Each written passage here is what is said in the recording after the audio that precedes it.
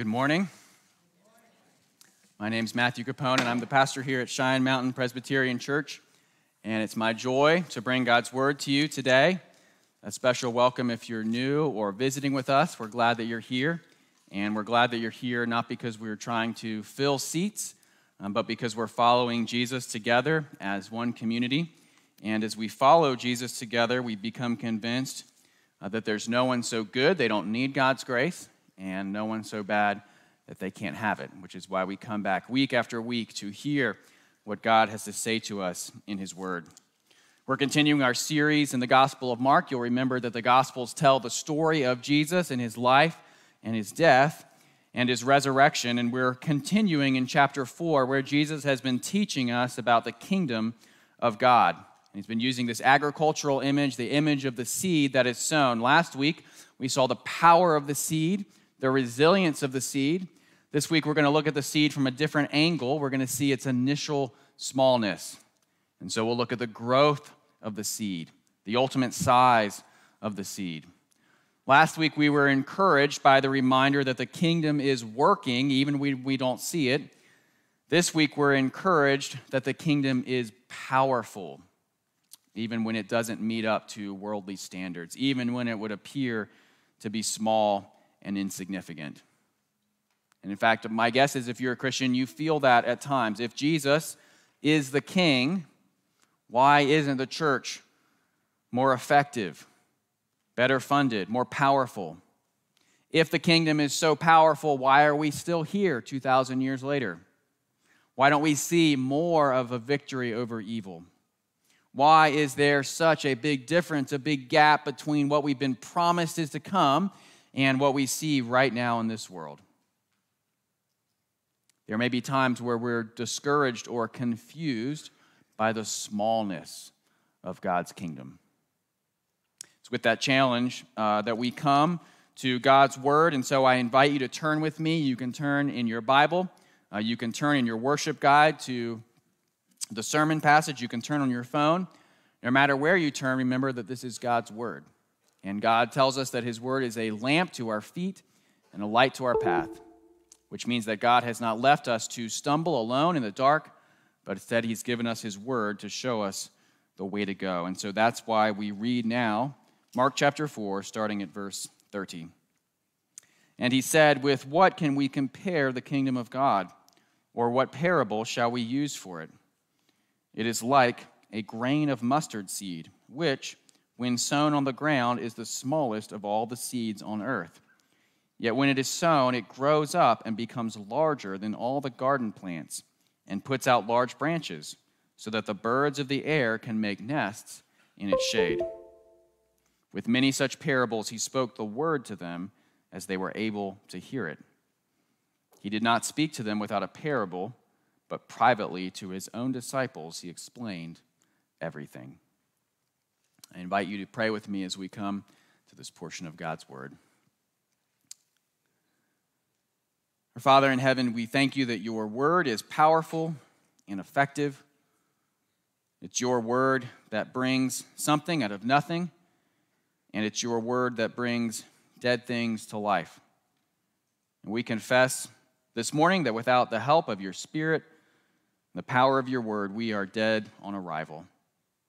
So we simply ask uh, for those things this morning that you would give us your spirit to use your word in a powerful way, that we would be challenged by it, encouraged by it, and that we would see Jesus. We ask that you do these uh, simple things as we look at what you have to say to us uh, here in the Gospel of Mark. We ask these things in the mighty name of Jesus Christ. Amen. It's uh, common knowledge, I think, or at least I hope, that we now know that redwood trees are the tallest of all trees in the world, and you'll find many of them on the coast of California. You may also know that National Geographic ran a documentary series for about 25 years called National Geographic Explorer. And in 2009, they ran one episode called Climbing Redwood Giants, which tracks a variety of people who interact with these redwoods in California. One of them is a man named Michael Nichols, who was a photographer uh, for National Geographic, and he was frustrated by the fact that none of the photos of these redwood trees did them justice. People would come to the redwood forest and they would be overwhelmed with this sense of awe and transcendence, but when they looked at a picture, they would just think, ah, that's a nice tall tree. And so he wanted to fill that gap between the in person experience and the viewing of a picture. The problem is that these trees are typically over 300 feet tall. And he wanted to take a picture that showed the tree all the way from the top down to the bottom. Uh, turns out this is more challenging than you might expect. Uh, he spent 21 days camped out in the forest trying to get one picture. They would set up every morning with his crew before dawn, and he'd have someone at the top of the tree who would give them the go signal as soon as he saw the sun. They had a camera that they had to back up 50 feet away from the tree because the crown of the tree at the very top uh, was 100 feet wide. And this, this uh, robotic camera essentially had many different lenses on it, and it would drop from the top all the way to the bottom. And so they would try day after day after day, trying to get the right picture with the right sunlight at the right time. Uh, he said this his goal is to capture the grandeur of a giant redwood tree in one image. Day 14, they finally got the picture they wanted, except it wasn't just one picture. They took 84 different pictures and pieced them all together. These 84 pictures that were pieced together into one image formed a five page foldout in the National Geographic issue that came out in October of 2009. At the beginning of this documentary, the narrator tells us even giants start small, with modest cones packed with seeds no bigger than a tomato's. And so, this giant redwood tree, the tallest of all trees in the world, over 300 feet tall, uh, some of the tallest ones much larger uh, than that, starts with a seed no larger than a tomato's. He is comparing for us the beginning and the end. And that's the same thing Jesus does for us in this passage. He wants us to feel the difference, the contrast between the beginning and the end of the kingdom of God. We see here, verse 30, there's something difficult about understanding the kingdom. It doesn't meet our expectations, it's counterintuitive, which is why he asks this question with what can we compare the kingdom of God, or what parable shall we use for it? In other words, it's hard to find the right example because this is a, such a strange, unusual thing. The kingdom operates in such a way that's different from our expectations and our experience. So, what in the world are we going to have that would actually help us begin to wrap our minds around it? And he tells us, well, it has to be something, verse 31, that starts out as the smallest, verse 32 ends up as the largest. Whatever our parable is, it has to be something that starts out as the smallest, ends up as the largest. Uh, before we dive deep into that, by the way, our points this morning are very simple. One, the smallest. Two, the largest. I want to make sure we review and understand what it is that we're talking about when we use the phrase the kingdom of God. I talked last week about this temptation to use what's called God talk, which is when we throw all these phrases around that sound spiritual and we have no idea what we're talking about. Kingdom of God can fall into this category. People throw it around and use it. If you ask them to define it, would they actually be able to tell you what in the world they're talking about? There's all sorts of books and articles written trying to define this, and I'm going to give you this very simple definition that I gave you last week. When we talk about the kingdom of God, we are simply talking about the place where Jesus is king. When we are talking about the kingdom of God, we're talking about the place where Jesus is king. This is the place where Jesus is loved and worshiped and obeyed.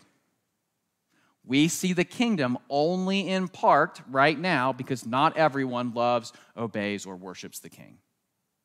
We will one day see the kingdom in full because one day everyone will worship and recognize Jesus as king. In fact, this is what Paul tells us in Philippians chapter 2. He says, At the name of Jesus, every knee should bow in heaven and on earth and under the earth, and every tongue confess that Jesus Christ is Lord to the glory of God the Father. We will see the kingdom in full when every tongue confesses Jesus as Lord. We don't see that yet. And so now what we see, and this is the quote I gave you last week from Martyn Lloyd-Jones, is the kingdom shows up in the hearts and lives of his people. Jesus' kingdom shows up in the hearts and lives of his people. In fact, if you look on page five of your worship guide, you'll see I gave you that same quote all over again. The best quote that I've ever found on the kingdom of God. And he uses that phrase, the very last sentence. He is certainly ruling in that way in the hearts and lives of all his people. And so we prayed this morning in the Lord's Prayer that God's kingdom would come on earth as it is in heaven. And what we are praying when we pray that is that you and other people would worship and love and obey Jesus as King more and more. We don't have to give into God talk. We can clarify our terms. That is what we mean when we talk about the kingdom of God, the place where Jesus is King. And so, jumping right back in, remember our two points are very simple the smallest and the biggest. Uh, first of all, this kingdom, this place where Jesus is king, is the smallest. Verse 31 It is like a grain of mustard seed, which, when sown on the ground, is the smallest of all the seeds on earth. The kingdom of God is small in many different ways. I'll give you guys some ideas, but it's small from a worldly perspective. The things that this world expects and demands of a kingdom, uh, the kingdom of God does not meet up to those expectations. It does not rise to the height that one would think it would. And it doesn't do this in a variety of ways. First of all, the logic of the cross is the smallest. The cross is weak and foolish from a worldly perspective. In fact, Paul, the apostle, says this explicitly in 1 Corinthians chapter 1. He says, The cross is foolishness to the world. And here is the sense in which it's foolish. It is foolish, as is often said, because it is an instrument of torture that's used as an instrument of salvation. It is foolish because it's an instrument of torture used as an instrument of salvation. It is scandalous. The cross does not make sense to the world. It does not make sense that strength would come through weakness. The image of the cross that we have now has been domesticated over time initially it was extremely shocking. Uh, in fact, there's this book called Dominion How the Christian Revolution Remade the World by a man named Tom Holland. And he notes that artists were not willing to use the cross as an image until AD 400. It took 400 years for people to even be willing to use the image. That's how scandalous it was. In fact, he says this Divinity was for the very greatest of the great, for victors and heroes and kings. Its measure was the power to torture one's enemies, not to suffer it oneself. That a man who had himself been crucified might be hailed as a God could not help but be seen by people everywhere across the Roman world as scandalous, obscene, and grotesque. That such a God of all gods might have had a son, and that this son, suffering the fate of a slave, might have been tortured to death on a cross were claims as stupefying as they were to most Jews repellent. No more shocking a reversal of their most devoutly held assumptions could possibly have been imagined. Not merely blasphemy, it was madness. The cross is the smallest. It is small and weak from a worldly perspective. It makes no sense whatsoever to use an instrument of torture as an instrument of salvation. It's not just the logic of the cross, though, that it's the smallest, it's also the people of the cross who are the smallest. And by the people of the cross, I mean you and me. Uh, Paul does not pay us any compliments in 1 Corinthians chapter 1 because he doesn't just say that the cross is foolish, he says, You are foolish. He says this, verse 26 For consider your calling, brothers. Not many of you were wise according to worldly standards, not many were powerful, not many were of noble birth. But God chose what is foolish in the world to shame the wise. God chose what is weak in the world to shame the strong. God chose what is low and despised in the world, even things that are not, to bring to nothing things that are. So when Jesus came, to set up his kingdom, he decided to pick a brain trust of the smartest possible people he could find with the greatest gifts that he had seen in advance. And he picked them for that reason, leaving out people who didn't meet up to his standards. No. The complete opposite. Jesus comes in his kingdom and he, he picks those who are not wise, those who are not powerful, those who are not noble birth, those who are foolish, those who are weak, those who are not strong, those who are low and despised. The kingdom is the smallest. The foolishness, the smallness of the kingdom is this then. There are many from Harvard that will reject it, and high school dropouts who will embrace it. There are many who are rich who will reject it, and those who are poor who will embrace it. There are those who are virtuous who will reject it, those who are obnoxious who will enter the kingdom of God. Now, having uh, educated of the kingdom doesn't shock us as much as it does the Roman world. Our values are different. Uh, what's shocking for us is that obnoxious people would get into the kingdom and virtuous people would not. Jesus chooses the smallest. It's foolish and small and weak in the sense that Jesus presents to his followers a way of suffering rather than luxury. The gospel does not fit into the expectations and standards of this world. It's not just the logic of the cross, it's not just the people of the cross who are small and foolish, though, it's also the king of the cross. Jesus did not come as a beautiful person. He came as small compared to the kings of this world. Jesus shows up in a stable rather than a palace. Jesus rides into Jerusalem on a donkey rather than a war horse. Jesus has a crown of thorns rather than a crown of gold. Isaiah tells us, in fact, that there was nothing attractive about Jesus that would draw people to him. Isaiah 53 2. He had no form or majesty that we should look at him, and no beauty that we should desire him. If Christianity was a blind taste test, remember you see these from time to time, right? People will have Pepsi and Coke, but they won't tell you which is which and you're supposed to taste it and recognize what's correct and good. Maybe you have a new product compared to a name brand product, and without knowing what it is you're tasting, you're able to pick up on certain things.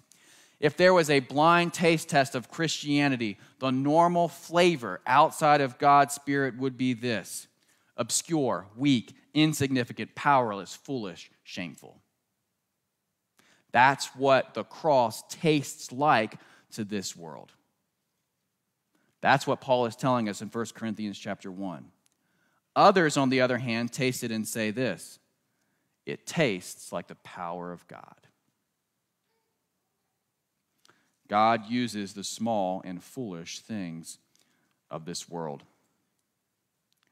Jesus teaches this parable because it is something that's relevant and real for these people and for us as well. It's hitting at something perhaps you feel. Perhaps you feel at times that the kingdom is, in fact, small and little and insignificant. It is corporations and governments that have money and power. If God is the king, if his kingdom is the greatest, why is it that Apple and Facebook and Amazon have such great levels of influence and power? If God's kingdom is the greatest and he's the king, why is it that Elon Musk and Jeff Bezos and Bill Gates are the ones with all the money? Why isn't it the church? Because the kingdom is small and weak and foolish. We saw the parable of the soils a while back, chapter 4, verses 1 through 20. Why is it that the world is so alluring? Why is it that these thorns are able to come in and crush the seed of the kingdom? Well, it's because the kingdom is weak and insignificant by the numbers. It is not what is most alluring and beautiful. Jesus needs to teach this to his disciples and to us because the kingdom is not what they expected. Jesus' followers wanted a rapid onset kingdom, they wanted an immediate kingdom, they wanted a powerful earthly kingdom. And Jesus here instead resets their expectations. It is not going to be what you want, it is going to be the smallest kingdom. Question, though, that's still unanswered is why? Why is it that the kingdom comes in such smallness? Why didn't Jesus come with a royal train? Why didn't he come with a real crown? Why didn't he ride in Jerusalem on a war horse? Well, Paul answers that question for us as well near the end of 1 Corinthians 1. He says, God chose what is low and despised in the world, even things that are not, to bring to nothing things that are. Verse 29, here's the answer so that no human being might boast in the presence of God. God chose a small and foolish kingdom to highlight his grace so that no one could congratulate themselves for being a part of it, so that no one could pat themselves on the back that they were smart enough, powerful, and rich enough to be part of the kingdom of God. The kingdom starts and looks small to show God's glory. It's meant to highlight God's grace, it's meant to show God's glory. In fact, we know this intuitively, right? There is something beautiful and marvelous about small things turning into great things. The smallness of the seed is part of what makes the redwood so majestic and impressive. You think to yourself, that large tree came from that small seed? It would make sense, right, if it came from a big seed. And yet, that's not how it works, right? That's why the narrator of the documentary mentions it. He says, Even giants start small, with modest cones packed with seeds no bigger than a tomato's. The redwood tree, in other words, is not large because it started large. It's large because of the power of the seed. The kingdom of God is not large because it started large, it is large because of the power of the gospel. The smallness of the kingdom shows us the power of God. The gospel is beautiful and powerful, not just, just not the way we expect it. And so that's why Paul also tells us in 1 Corinthians 1 the word of the cross is folly to those who are perishing, but to us who are being saved, it is the power of God. Its smallness, the fact that it's insignificant and weak, is a feature, not a bug.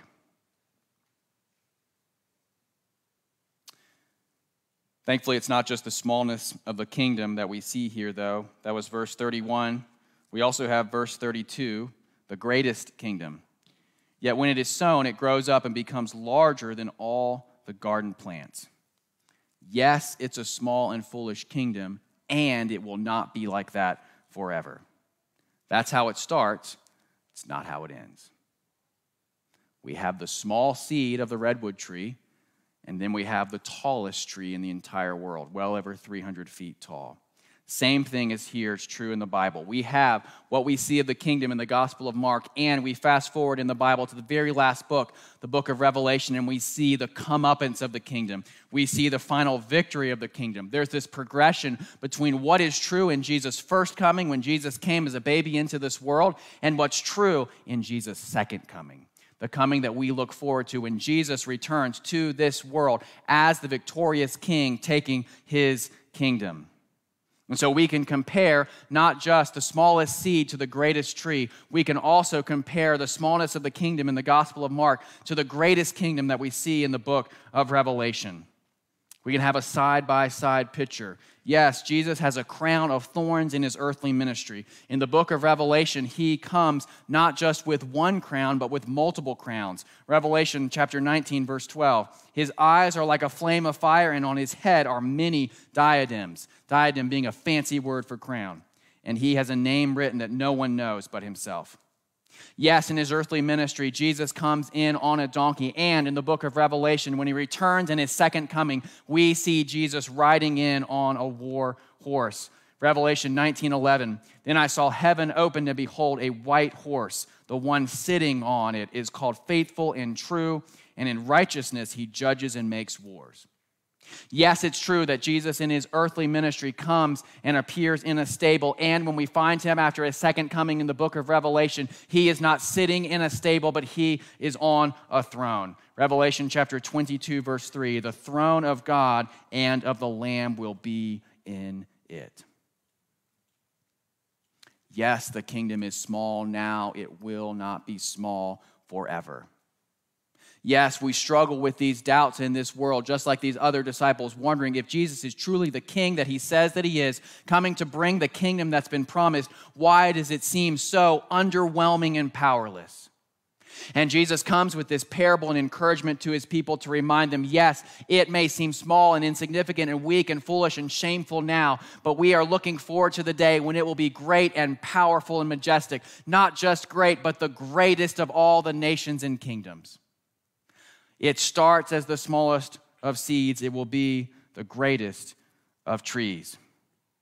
Jesus then is giving us, his followers, the critical assurance that we need as we follow him as our king into his kingdom in this world, which is this that ultimate victory is guaranteed and it is coming.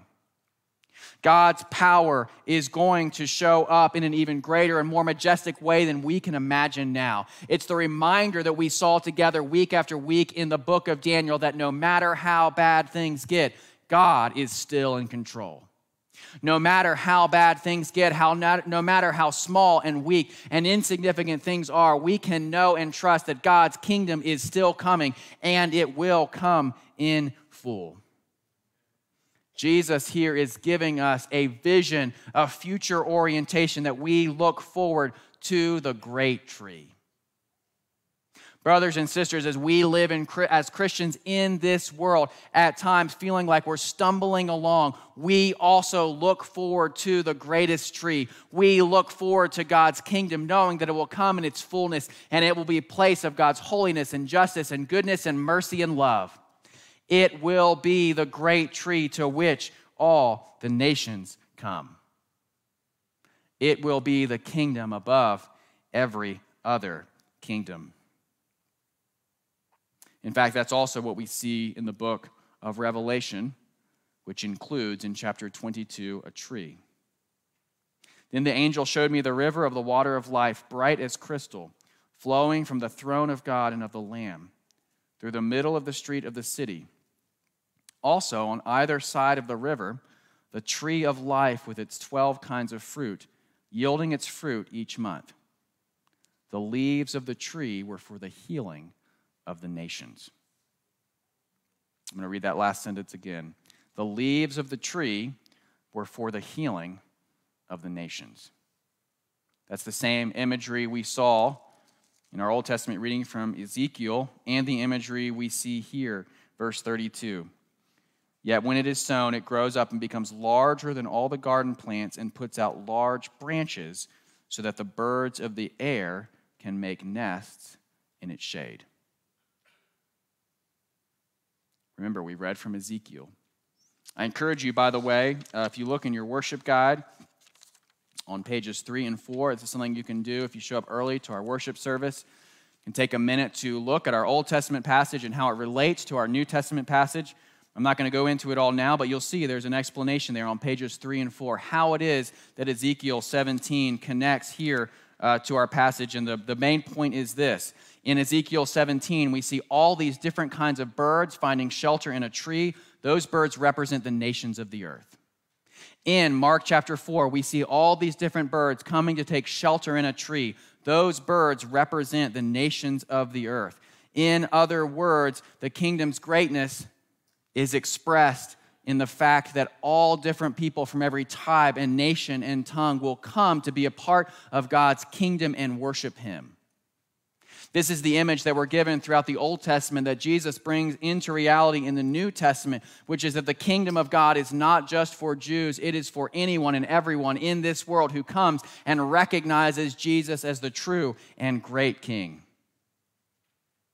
All the nations of the earth will come and be a part of this. And so we begin to see again the logic of why the kingdom must be small and become great, not just to highlight God's greatness and his glory, although, yes, that is true, but also because it is the smallness that leads to the greatness. In other words, the only way that Jesus can bring all the nations to find shelter in his tree is if he dies for their sins. It is by coming as a suffering Savior that He's able to enable and empower people from every tribe and nation and tongue to come and worship Him. Because those who are finding shelter under the tree are those who have come to Jesus Christ as their Lord and Savior, recognizing that He is the one and true King who they worship and love and serve and obey. And it's Jesus' death that makes that possible. It's the smallness of the kingdom that enables the greatness. It's because Jesus came to die that he's able to provide shelter for all the birds.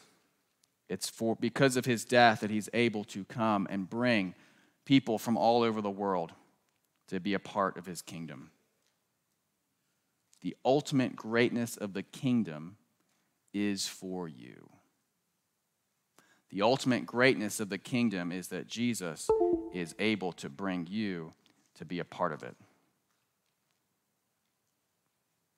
The flip side, however, of the tree is this yes, Jesus will rule over the nations, he'll provide shelter for the nations. And those who choose not to find shelter in him will perish. There are birds who choose to find shelter under this tree and those who do not. And so, brothers and sisters, the choice for us is clear. There are only two ways to live in this world. We can live finding shelter under the tree of the kingdom of God, or we can perish apart from it. Those are the only two choices God gives us in this world. We have to embrace the smallness of the kingdom to experience its greatness. We have to follow the path that Jesus gives us in Mark chapter 1 verse 15 that we repent and believe the gospel. We recognize that it is not a path of victory first but of suffering just like our Lord and Savior Jesus Christ. And that is how he provides for the nations to find shelter.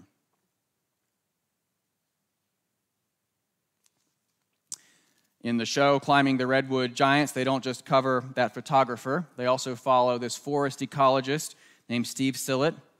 And Steve wants to be the first person to explore the canopy of wood, redwood trees. Turns out people had not gone up into the top of these trees because the lowest branches were 200 feet off the ground. And so he wants to do what's called canopy work. No one had touched it until 1996 what he comes and finds when he climbs 200 feet up is something incredibly surprising. There are limbs on this tree that are themselves the size of trees. And on top of those limbs, there are three feet of soil. There is a whole world living 200 feet off the ground. He finds huckleberry uh, bushes with fruit that he can eat and there are salamanders that live 200 feet off the ground in these trees. In fact, they tell us some salamanders are, may live and die in a single tree without ever touching the ground. There's a whole other world living in the canopy of these trees 200 feet off the ground. In other words, this tree, just like the kingdom, provides life to surprising candidates. This tree, just like the kingdom, provides shelter and protection for all sorts of creatures. Our greatest illustration of all of moving from the small to the great is the cross. We've seen before that the crucifixion is the smallest thing, the most shameful thing, and it leads to Jesus' glorification, the greatest thing, the most glorious thing. Again, from Philippians chapter 2. At the name of Jesus, every knee should bow in heaven and on earth and under the earth, and every tongue confess that Jesus Christ is Lord to the glory of God the Father. And so our passage tells us some simple things. The kingdom of God has a beginning, and it's small and foolish and unexpected.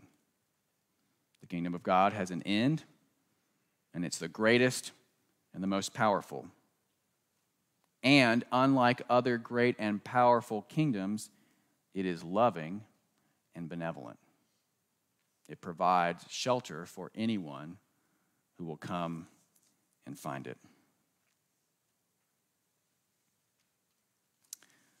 The photographer I mentioned at the beginning, Nichols, said this as he's searching this most uh, impressive photograph that will finally help people to understand the greatness of the redwood tree.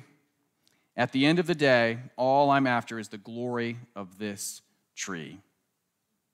And the forest ecologist Steve Sillett says this if you're lucky enough to get up into the crowns of one of these trees, it puts your own insignificant existence in perspective. It makes you realize there's something much greater than yourself, so much vaster than you.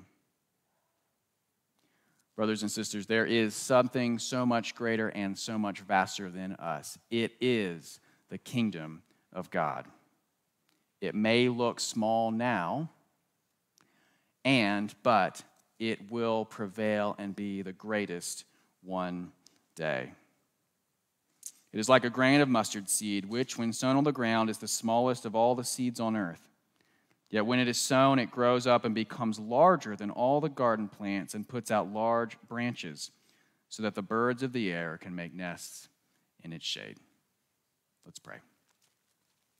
Our Father in heaven, uh, we thank you for this encouragement from your word, uh, this reminder of your kingdom that is to come. We ask that you would be at work in our hearts, that we would embrace and love the foolishness, the weakness of the gospel, that it would be our power and you'd give us the hope that comes from looking forward to your kingdom when it comes in fullness. We ask all these things in the mighty name of our Lord and Savior, Jesus Christ. Amen.